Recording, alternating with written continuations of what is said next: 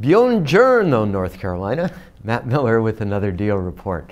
This week, the Italian drug company Chiesi Farmaceutici said it would take private Cornerstone Therapeutics based in Cary, North Carolina.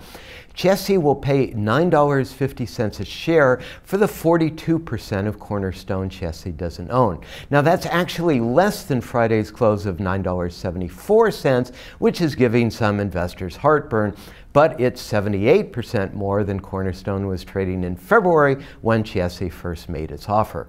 Now, we'll leave that dispute to the courts. Uh, various plaintiffs' attorneys are already gearing up for battle. What interests us here is Chiesi's Italian heritage, its attempt to go global, and how this mirrors other companies like it.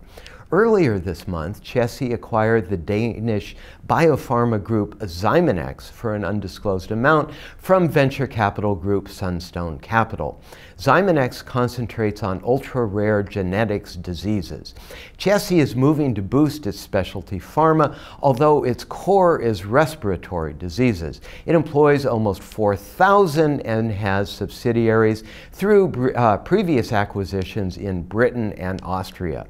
It bought 58% of Cornerstone in 2009, one year after the company went public. Cornerstone also focuses on respiratory ailments and, of course, gives Chiesi a channel into the American market. Now, Chiesi has been around for more than three quarters of a century.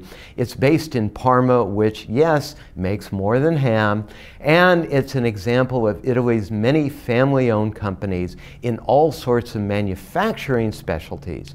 They may not be household names, but they produce great products and compete, can compete internationally. More feel the need to do so as Italy struggles with its protracted financial woes and the various political shenanigans. It can't seem to shake either. Witness Silvio Berlusconi, a kind of recurring national nightmare. So, as Italy's economy stagnates, Italian companies look elsewhere for growth. America is high on that list. From New York, this is Matt Miller.